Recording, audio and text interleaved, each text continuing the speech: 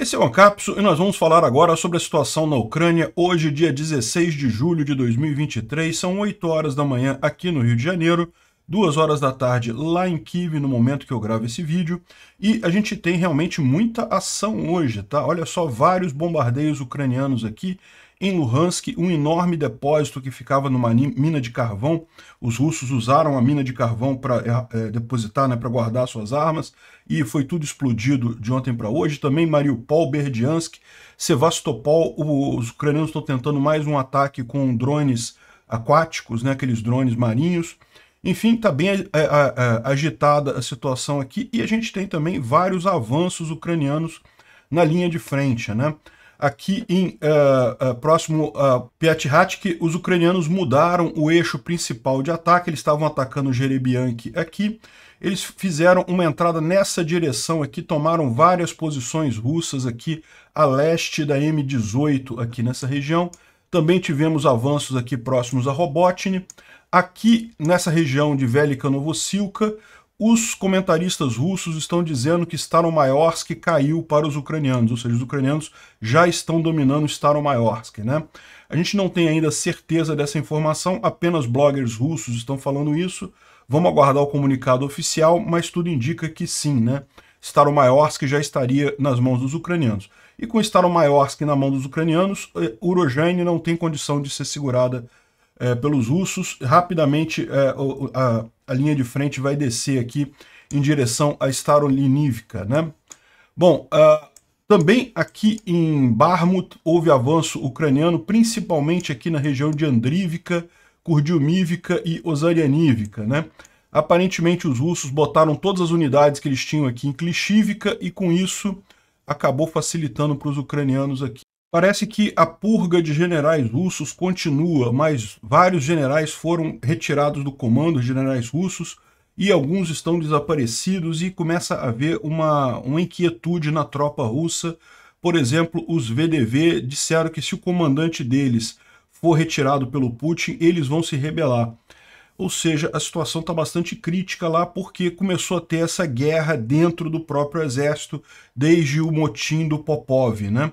Isso realmente tem um potencial até muito mais danoso do que do Prigogine alguns dias atrás, algumas semanas atrás, porque o Prigogine, bem ou mal, não era dentro do próprio exército. Os russos disseram que encontraram um... Uh, uh, desbarataram uma tentativa de assassinato de duas âncoras de televisão lá na Rússia, duas celebridades do jornalismo lá na, na Rússia, a Simonia e a Shobhak, só que os russos teriam desbaratado isso, mas é muito engraçado que é muito caricato o que eles falam. Né? Eles dizem que é um jovem que foi cooptado pelo serviço secreto ucraniano, aí o cara tem um monte de insígnia nazista, uniforme nazista, não sei. Cara, que história é essa? Por que os ucranianos iriam contratar um cara com insígnia nazista para fazer um ataque desse? Né? Tá mais do que evidente que é armação lá do FSB lá na Rússia. Mas enfim, vamos entender esse caso também. E vamos falar sobre algumas reportagens de jornais americanos que falavam sobre a mudança de tática ucraniana aqui na linha de frente. Segundo eles estão dizendo, os ucranianos encontraram dificuldade num primeiro momento na contraofensiva, mas já reajustaram as táticas e estariam se preparando para a próxima etapa disso daí, né? Vamos falar sobre esses e outros assuntos em detalhes. Essas notícias foram sugeridas por Prigogin com a sunguinha do Peter, Sagat Bordiev e várias outras pessoas. Obrigado aí ao pessoal que sugeriu a notícia. Obrigado a você que está assistindo o nosso vídeo. Se você gosta do nosso conteúdo, por favor, deixe o seu like e se inscreva aqui no canal, né? Pois bem, infelizmente a gente começa com uma notícia triste aqui em Kharkiv. O, a cidade de Kharkiv foi bombardeada com vários mísseis S-300 os mísseis S-300 são mísseis de defesa antiaérea, são muito rápidos, a defesa antiaérea não consegue derrubar eles aqui, então eles acabaram atingindo vários alvos aqui em Kharkiv, muita gente ficou assustada, muitos civis feridos por aqui também no dia de ontem, né? Muito triste isso. Bom, mas dito isso, teve vários outros ataques ucranianos, dessa vez ataques em alvos eh, militares, né? ao contrário dos russos, os ucranianos atacam alvos militares. Aqui, por exemplo, em Olesk, uma, um clube, o Yacht Clube de Olesk, foi atingido e tem inclusive um vídeo disso, muito embora eu tenha que falar para vocês que eu não tenho certeza se esse vídeo é autêntico, tá? Eu não posso tocar o vídeo aqui porque ele tem cenas de violência, né? O YouTube não gosta, mas aqui mostra um carro chegando aqui no Yacht Club lá de Olesk, um outro carro mais adiante um pouquinho, e de repente uma grande explosão aqui é, é, atingindo aquele carro lá, aquele primeiro carro, e outras explosões depois, o, o, o vidro do carro aqui até trinca e coisa e tal. Enfim, é, essa é, aparentemente teve esse ataque aqui, alguma reunião de russos aqui no Yacht Club de Olesk, né? E é a posição onde seria o Yacht Club de Olesk que foi atingido ali na região, né?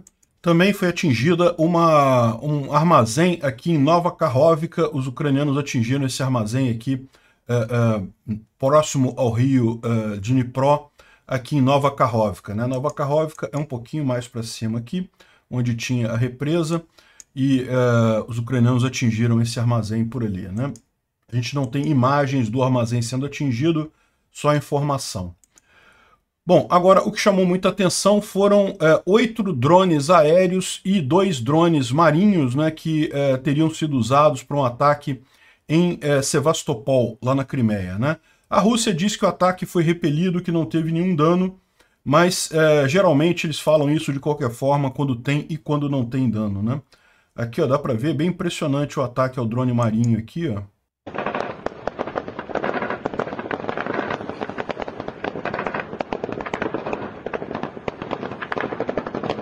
E aqui, à noite, as, as explosões à noite.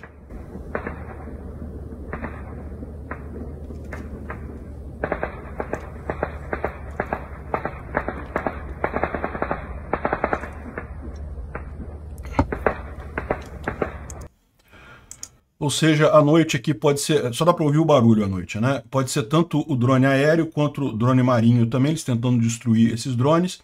Segundo os russos, não teve nada, mas a gente não sabe, né? Agora, o grande ataque que teve de ontem para hoje foi nessa mina de carvão aqui na cidade de Yuvilene, que fica perto de Luhansk, né? Olha só, uma explosão muito grande ali, dá para ver. Vamos, vamos ouvir aqui.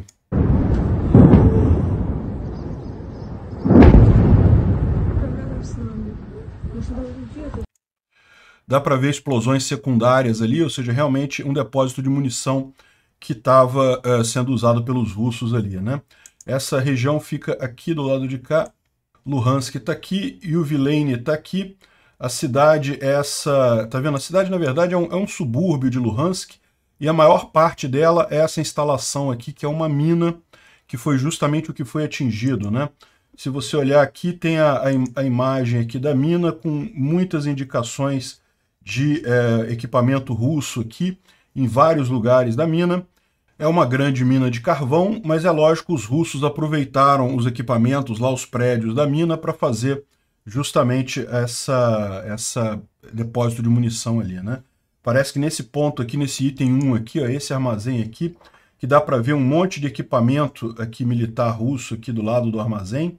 Muito provavelmente o armazém como um todo é usado para uh, uh, equipamento né, e para munição também.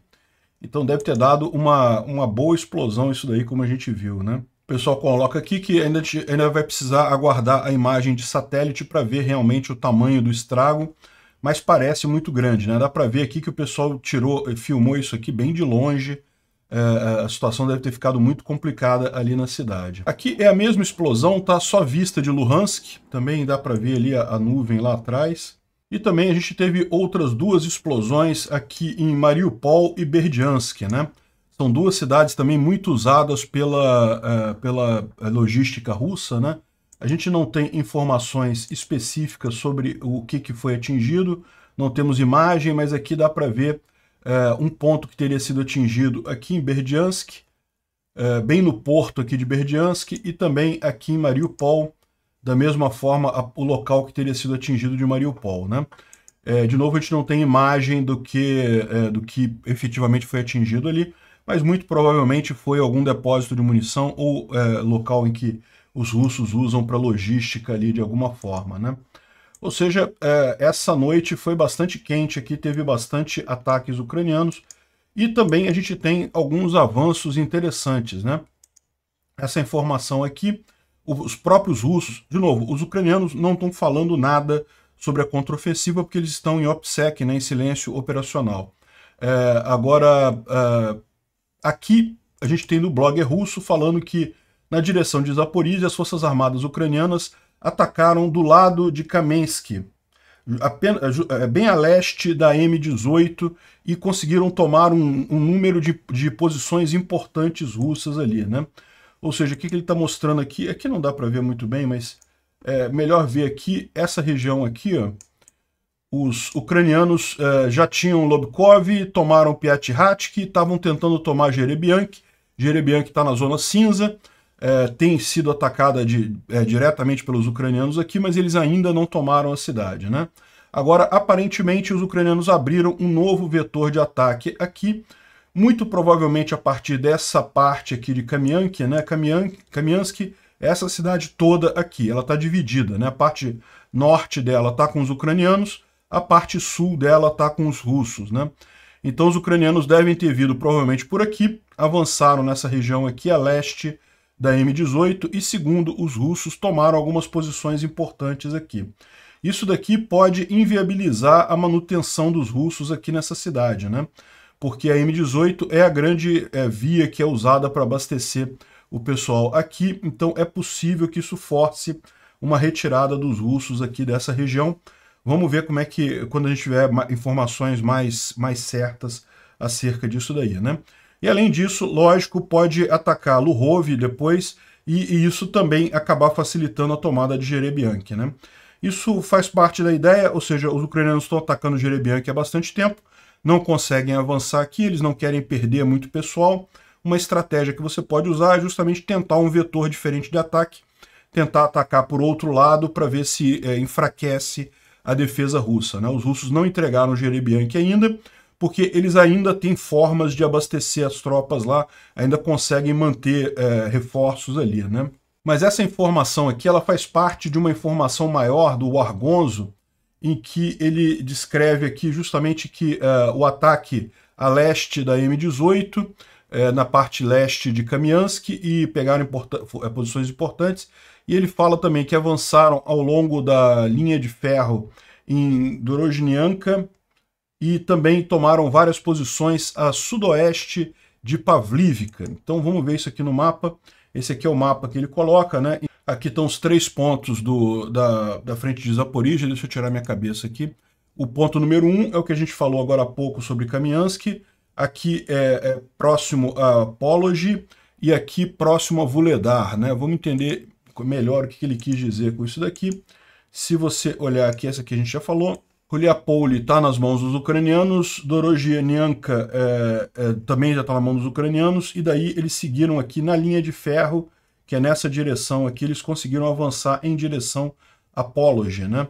Ou seja, eles estão avançando por aqui. E finalmente, aqui em, uh, em Vuledar, os, os ucranianos estão avançando aqui a sudoeste de Pavlivka, ou seja, repara como é que Pavlivka está na mão dos russos, mas os ucranianos eles têm aqui essas outras cidades, essa outra região aqui, é, inclusive é, é, eles estão ameaçando agora justamente essa linha aqui, essa, essa estrada, a C050524, essa é a ideia da coisa para justamente dificultar o abastecimento aqui de Pavlivka e Mikilsk, né?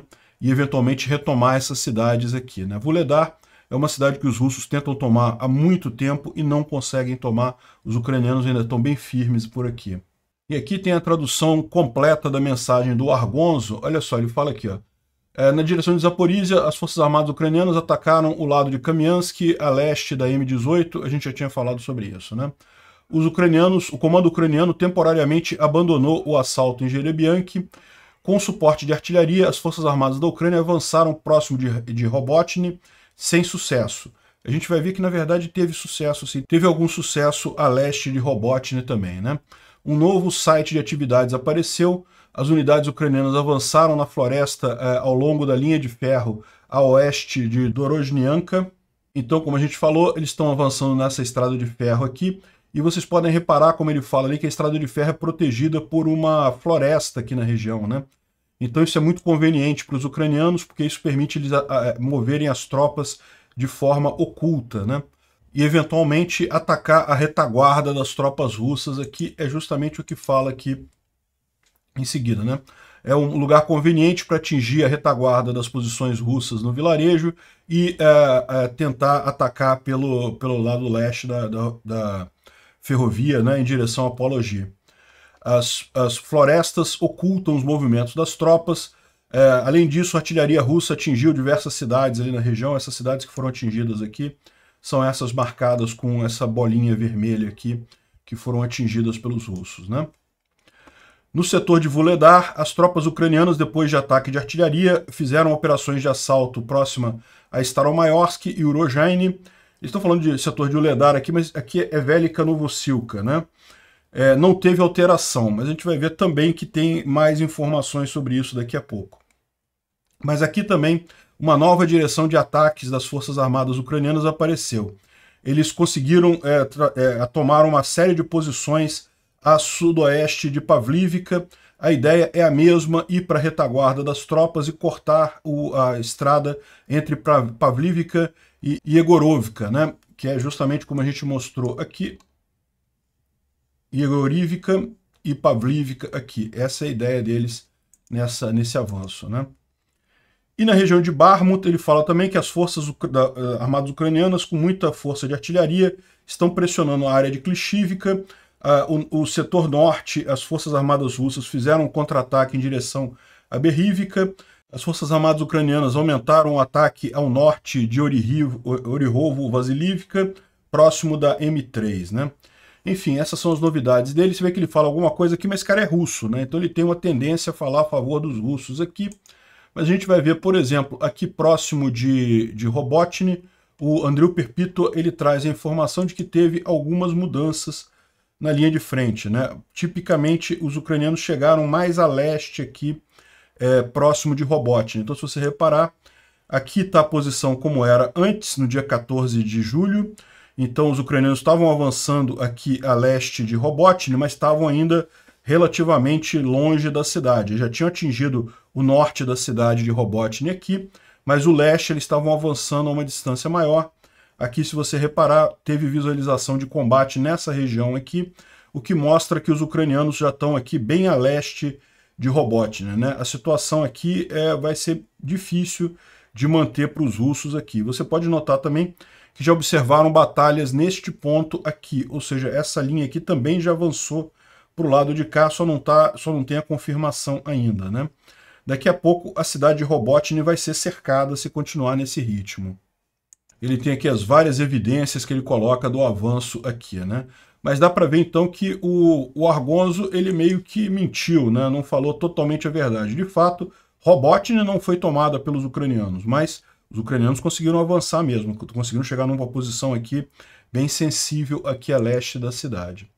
Bom, a outra informação, que é uma informação muito boa, mas a gente não tem a confirmação dela ainda, é que a, a, vários bloggers russos estão é, é, reportando a liberação do vilarejo de Staromayorsk, que é um vilarejo que está localizado numa montanha dominante, né, numa colina dominante, então isso é muito importante nessa região aqui. Né?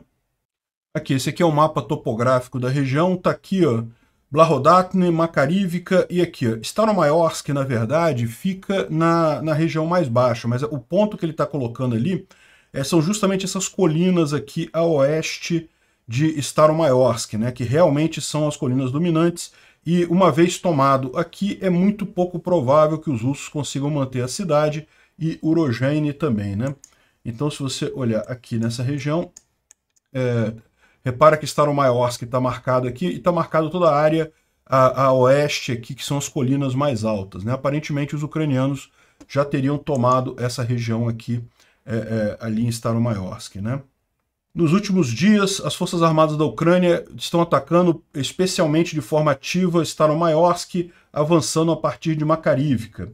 Muita artilharia através das nossas linhas de frente, forçando os soldados para se é, para recuar para a próxima linha de defesa. Então, os grupos de assalto das Forças Armadas da Ucrânia, em veículos armados, começam os ataques. Ou seja, tudo indica que sim, que foi isso que aconteceu. Eles conseguiram, a partir de Makarivka, aqui, é, chegar ali em Staromayorsk, né?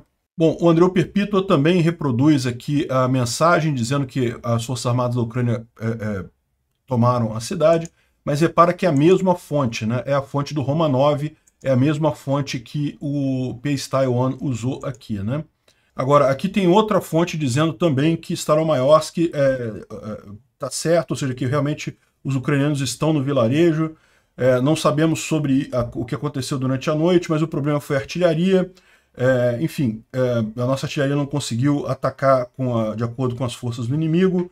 Enfim, é, é, aparentemente foi isso que aconteceu mesmo. Né? Aqui é o Strelkov, né, o Igor Strelkov, ou Igor Girkin, dizendo aqui que, é, confirmando, né, se realmente os ucranianos tomaram Staromayorsk, eles, eles conseguiram um sucesso tático. Né? Se esse sucesso vai resultar em alguma coisa mais significativa que o avanço de 2 ou 3 quilômetros, isso vai ficar claro nos próximos dias. Porque, no final de tudo, a tarefa das Forças Armadas da Ucrânia não é amassar a nossa defesa, não é empurrar a nossa defesa, mas sim quebrar ela aberta e vazar na nossa retaguarda do nosso grupo de defesa. E nesse meio tempo, as batalhas estão indo em direção às, às chamadas linhas Fabergé, é, é, nomeadas pelo misterioso e sumido general Surovikin. Ele está falando da, da linha Surovikin, né, que nessa região aqui ela passa aqui em algum ponto aqui perto de Novo Petrikivka. É, tem uma outra linha também aqui em Staromlinivka, um pouco mais ao norte aqui, né? São as linhas defensivas russas aqui que ele está mencionando. Eu enfatizo mais uma vez que o principal componente de qualquer é, posição defensiva fortificada não são uh, as trincheiras ou uh, obstáculos ou, campos minados, mas sim pessoal bem treinado uh, em número suficiente e com as armas e munições necessárias. Né? O cara está preocupado aí. Bom, falando sobre Barmut, né? Barmut, a gente teve também desenvolvimentos bacanas aqui próximo de Kurdiumivka e Osarianivka e também aqui em Andrivka. Né? O que está acontecendo aqui em Barmut? Os ucranianos já tomaram a maior parte das posições aqui a oeste de Klishivka, as posições altas aqui. A situação de Klishivka é muito complicada. Se os ucranianos mantiverem essas trincheiras aqui, os russos não têm como manter é, Klishivka. Mas o que está acontecendo? Né? Os russos não querem desistir de jeito algum. Eles sabem que os ucranianos tomando Klishivka, eles vão abrir uma avenida aqui para trás da retaguarda russa e rapidamente a própria cidade de Barmut vai ficar impossível de ser mantida pelos russos. Né? Então eles estão tentando a todo custo manter Klishivka. Estão mandando um monte de reforços para Klishivka a todo custo. E lembra, Klishivka está numa posição defensiva difícil, porque os ucranianos têm a parte mais alta aqui. Né? Então eles estão esvaziando a defesa em vários outros pontos aqui, o que no final é uma forma apenas de adiar o inevitável. Né? Mas o curioso é, eles também trouxeram tropas de Osarianivka, Kurdiumivka e Andrivka. Essas outras cidades aqui, também as tropas foram direcionadas aqui para Klishivka, né? E com isso os ucranianos aproveitaram, né? avançaram bem aqui, já estão batendo na porta de Andrivka aqui também. É o que eles estão dizendo aqui. Ó. Apesar dessas... É, é, do, dos russos terem colocado mais tropas aqui, os ucranianos estão ficando aqui com facilidade de é, tomar as cidades aqui atrás. Né? Aqui, Klishivka, Andrivka, Kurdiumivka e Osarianivka são as quatro cidades que os ucranianos estão avançando aqui nessa região. Né? Os canais russos estão dizendo que Kurdiumivka foi desconectada, né? ou seja, não conseguimos conexão com Kurdiumivka. Canais amigos escrevem que o inimigo não conseguiu passar pela linha, pela cidade, mas é, estão com momentos difíceis por lá, né? não temos dados específicos. Né? Kurdiumivka é essa cidade aqui, é, a gente sabe que ela já está na zona cinza, tá? não está dominada pelos ucranianos ainda, mas já está na zona cinza, e tem muita briga por aqui. Né? Os russos estão é, dizendo que não conseguem contato via celular com Kurdiumivka. Isso não quer dizer que eh, os ucranianos mataram todo mundo dos russos lá, pode, quer, pode significar que a antena de celular da região foi derrubada, ou que alguém está usando algum dispositivo de guerra eletrônica que impede o uso de celular. Então, assim, não quer dizer necessariamente que a cidade caiu, mas significa que a situação está bastante complicada lá, né? A coisa não está fácil naquele ponto ali, né? E também do lado ucraniano, a gente não tem muitas informações, eu, eu falo para vocês, mas de vez em quando tem alguma coisa, né? Então o Barmut Dimon ah, falou que, olha só, nós tivemos um bom sucesso em Kurdiumivka, ou seja, a coisa está andando ali mesmo. Isso pode significar também que tem é, é, sucesso no assalto ao sul de Klishivka em direção de Andrivka, né? O batalhão, o 24 Batalhão Aidar, né, ele também estava falando aqui que fizeram um bom trabalho ali na região. Né? A gente não sabe ainda o que, que é, justamente como a gente está dizendo, eles estão em silêncio operacional, não estão falando exatamente o que aconteceu, mas estão dizendo que a coisa está indo bem, está indo bem ali na região. Né? E também a gente tem informação aqui do dia 14 do 7, que foi divulgada agora, da ampliação do saliente uh, uh, ucraniano aqui próximo a Soledar e a Kovlivka. Esse saliente aqui é muito importante porque ele basicamente isola as tropas russas aqui ao norte de Barmut, né? Se os ucranianos conseguirem tomar Yakovlivka, tomar Soledar em seguida vai ser muito fácil, né? Aqui nesse mapa esse saliente não aparece ainda. A gente só sabe que tem muita disputa aqui, tá vendo? Aqui, ó, é, o, o, flanco sul aqui dos russos já foi quase totalmente destruído pelos ucranianos, já virou aqui uma contraofensiva ucraniana. O flanco norte de Soledar é bem maior, né? os ucranianos já tiraram essa parte aqui do flanco norte também, mas essa região aqui agora é que eles estão atacando, né? ou seja, estão indo aqui, avançando nessa direção, em direção a Yakovlivka e Soledar. Eles é, conseguindo tomar é, essa posição aqui em Bakhmutsk, olha só, eles basicamente isolaram todos esses russos que estão aqui na parte norte é, é de Barmut, né? não, não vão ter para onde ir esse pessoal aqui. Né? Bom, além disso daqui, a gente vai ver que também teve, é, é, os russos continuam com a tentativa de avanço deles aqui em Torsk, mas continu continuam no novamente não conseguindo avançar, conseguiram avançar só enquanto estavam cobertos pela floresta aqui, esse último trecho eles não conseguem avançar, e também existe uma contraofensiva russa aqui na região de, é, nessa região aqui de Liman Persk, e uh, Vilsana, essa região por aqui, né? Parece que Limão Perche agora está em zona cinza, tá, tá, tá no meio do caminho aqui. Uh, por enquanto, é um, é um avanço russo, eles avançaram alguma coisa aqui, mas não é nada crítico nessa região, pelo menos por hora, né? Vamos acompanhar isso daqui. O Estudo para Estudo da Guerra fala sobre o problema dos generais russos, né? Parece que teve mais um comando que foi abandonado o general, o comandante do general-major Vladimir Seliverstov. Mais um general demitido, é, não se sabe exatamente o motivo, mas o que leva a crer é justamente que ele teria novamente feito reclamações sobre a situação na linha de frente. E, como diz o pessoal aqui, a, a retirada dele pode ser parte de uma purga de comandantes não subordinados ou insubordinados dentro do exército russo. Isso não é um sinal bom para os russos. Né? Essa, esse aumento na insubordinação dentro do exército russo mostra, realmente abre é, fendas né, de, entre grupos lá na Rússia, e segundo dizem algumas pessoas aqui, isso parece que está levando a uma briga por controle dentro da, do governo russo. Né? É, o Putin pode estar tá perdendo o controle do governo dele. Né? E a, a, prisão do Poliakov, é um outro general que também foi preso, sugere que facções diferentes dentro do Kremlin estão tentando explorar esse, esse uh, uh, espaço de informação para avançar suas opiniões, aí, ou suas forças políticas. Né? Bom, uh, aqui está falando de forma é, é, mais direta sobre esse caso. Né? Os Telegram russos estão falando que o general foi removido do controle provavelmente por falar contra a, a guerra, né, ou por reclamar das condições da guerra. Né? E está aqui o, o, o, general em questão. O Selivestrov é, é, comandante de uma divisão lá da, do, dos VDVs. Né? Agora, aqui, ó, os, os, os soldados da 7 Brigada VDV é, lançaram ameaças caso o comandante da VDV, da, das forças inteiras do, do Teplinsky, é, caso a, a, carreira dele seja em perigo, né? Ou seja, eles estão já é, achando que o Teplinsky vai acabar rodando nesse mesmo esquema lá da, é, dessa purga de generais lá no exército russo e os soldados estão avisando que vão fazer um motim caso ele é, sofra alguma consequência, né? Isso aqui está só piorando a situação, né? O Anton Gerashenko traz aqui a imagem de seis comandantes é, russos que estão aí ameaçados nos últimos dias, ou sumidos, ou presos, ou demitidos, né?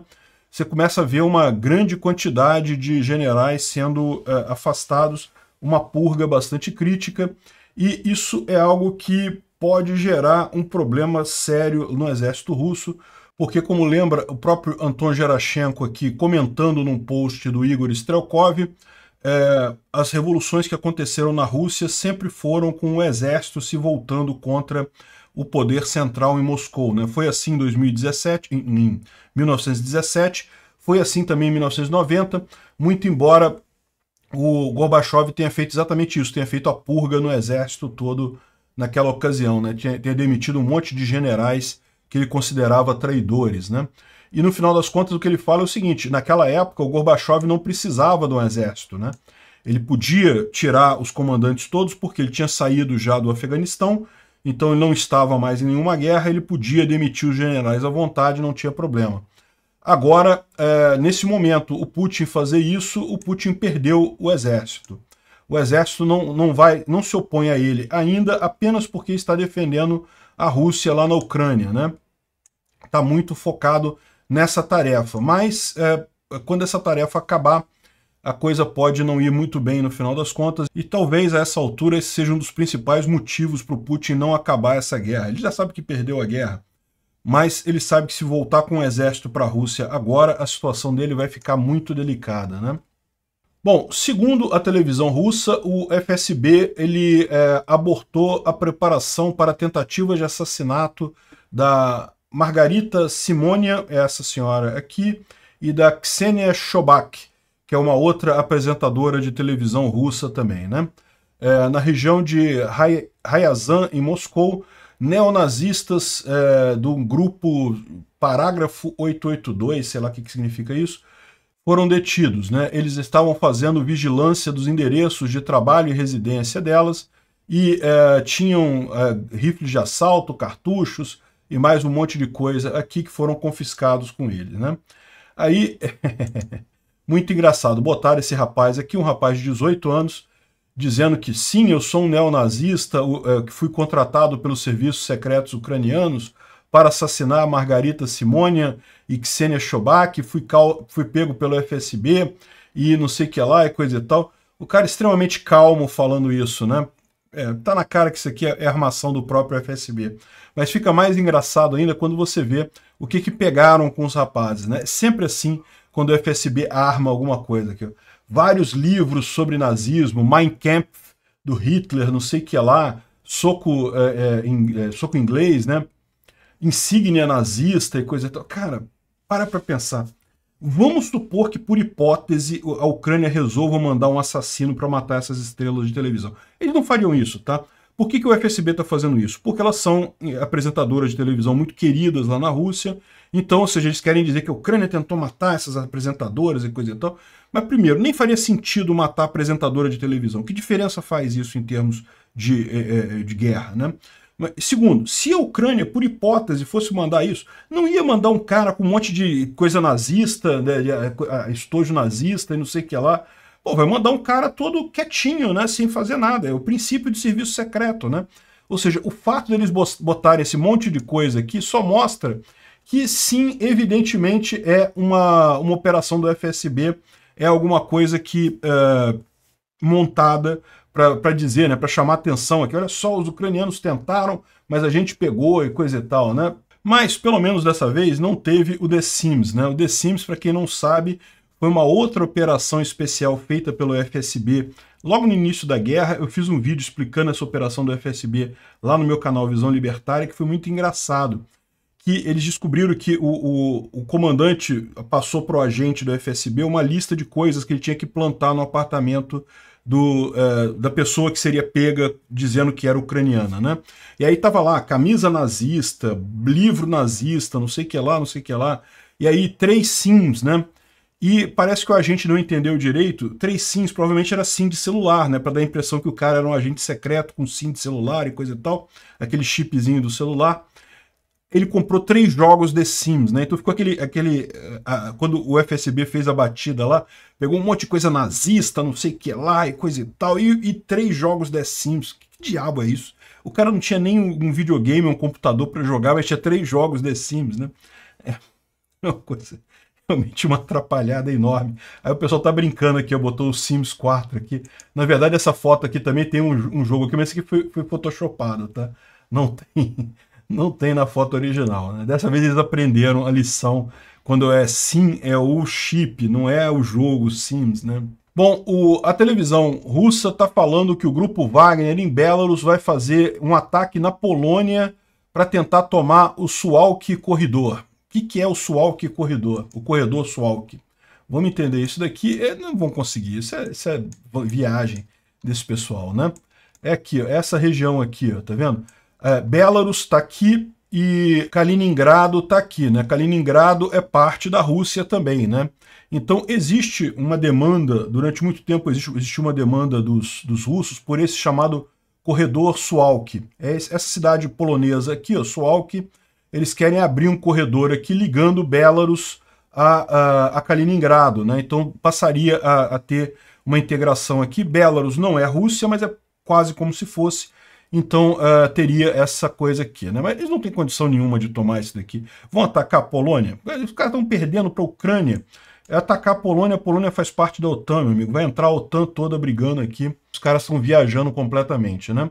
Bom, saíram algumas notícias em revistas ocidentais aqui sobre é, os ucranianos terem perdido quase 20% das armas e, e, equipamentos nas, nas primeiras uh, semanas de, de uh, contraofensiva e que teriam feito uma pausa para repensar a estratégia. Né?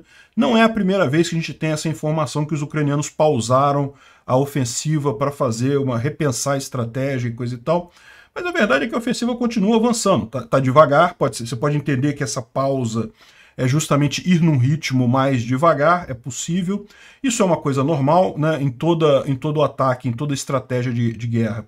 Quando você percebe que aquela estratégia não é a melhor possível, você repensa a estratégia, ninguém fica parado é, insistindo no erro, né?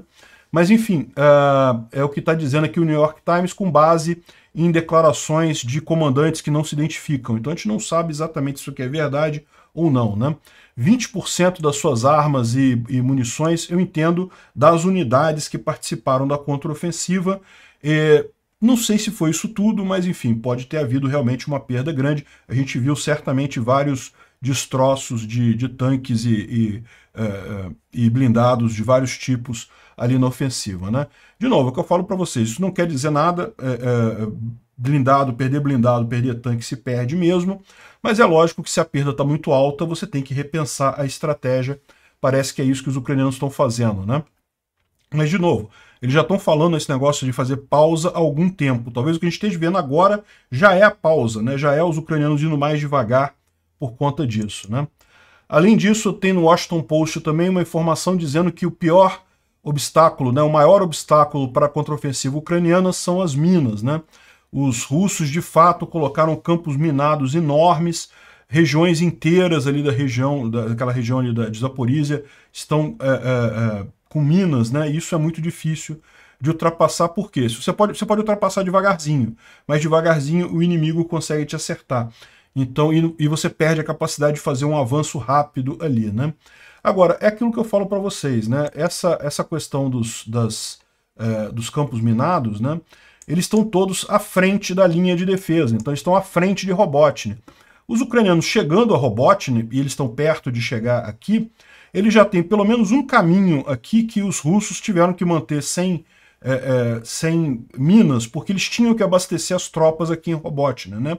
É lógico, eles podem minar a coisa depois que perderem Robotny, mas aí vai ser uma, uma, coisa muito. Eles tiveram muito menos tempo de preparação, vão colocar muito menos minas, né? E assim vai em todo, toda a linha de frente, ou seja, os russos estão preocupados dos ucranianos vazarem, justamente porque em determinado momento os campos minados deixam de ser um problema, né? E, bom, o, o Zalushny, ele falou que fez uma entrevista muito bacana, falando que vai retomar a Crimeia, que vai retomar todas as áreas da Ucrânia, independente da OTAN querer, não querer. É, enfim, o, o, o pessoal Russetti está até falando que ele está querendo dar um golpe de Estado, porque ele diz que vai retomar todas as áreas da Ucrânia, mesmo que o Zelensky não queira. Errado, ele não falou nada com relação a Zelensky, ele falou com relação à OTAN. Ele falou, olha só, mesmo que a OTAN diga que não, não podemos tomar a Crimeia, a gente vai tomar a Crimeia. Enfim, é, muito bacana a entrevista dele, dizendo que sim, que tem condições, que já está que está aguardando só a chegada no material para fazer esse tipo de, de avanço. Né? Para salvar minhas pessoas, por que eu precisaria pedir permissão para alguém para fazer algo no inimigo, no território inimigo? Por alguma razão eu tenho que pensar que eu não sou, não sou é, permitido fazer alguma coisa ali. Por quê? Porque o Putin pode usar armas nucleares, as crianças que estão morrendo não se importam. Isso é nosso problema e, e cabe a nós decidir como matar esse inimigo. É possível é, e necessário matar no território dele na guerra. Se nossos parceiros estão com medo de usar armas, nós vamos, vamos matar eles com as nossas próprias armas, mas apenas o quanto for necessário. Ou seja, o que ele está dizendo, ele está meio que inferindo aqui uma, uma eventual ação no território russo, inclusive. Né? Enfim, muito bacana a entrevista dele para o Washington Post. Né? E uh, outra coisa interessante é que talvez essa mudança de estratégia ucraniana realmente esteja funcionando. Né? O atrito ucraniano, a Rússia já perdeu a superioridade em artilharia de longo alcance no fronte sul. É aquela ideia que a gente estava falando. Artilharia, os ucranianos estão visando a artilharia russa, estão destruindo os equipamentos russos, e é, porque tem equipamentos com muito mais precisão, e é, a situação ali vai deteriorar bastante para a Rússia também. E também, pela primeira vez, a Ucrânia tem mais tanques que a Rússia na história. Né? A, a, os russos têm, teoricamente, infinitos tanques lá na Rússia, mas estão todos em muito mal situação, impossível de serem usados, de fato, na linha de batalha. No final das contas, lá para valer, podendo ser usado, a Ucrânia já tem mais tanques que a Rússia. Né? É um indicativo que sim, a mudança de estratégia ucraniana funcionou. Né?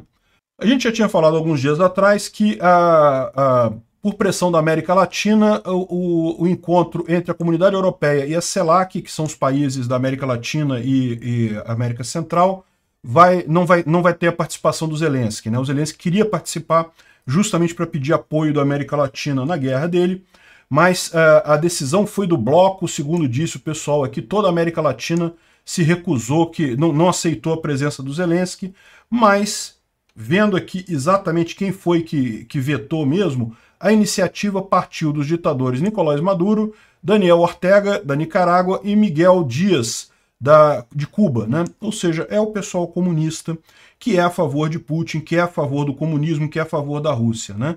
E é, só para ressaltar isso daqui, porque, porque mais uma vez eu não entendo como que tem gente da direita aqui no Brasil com essas posições pró-Rússia. Não, a posição pró-Rússia é desse pessoal, meu amigo. Não tem esse papo, não. Quem é a favor de Rússia, quem é contra a Ucrânia é Venezuela, Nicarágua, Cuba e, lógico, infelizmente, o Lula que está seguindo nesse mesmo caminho dos amiguinhos dele, né? Enfim, uh, no final das contas, essa foi a, foi a, a, a, a origem dessa ausência do Zelensky nessa reunião lá. Obrigado por assistir o vídeo até o final. Além de curtir, compartilhar e se inscrever no canal, considere se tornar patrocinador com valores a partir de R$ 1,99 clique no botão Seja Membro abaixo para saber as condições e vantagens de patrocinar o canal. Mais informações sobre o nosso projeto, visite nossos sites indicados na tela.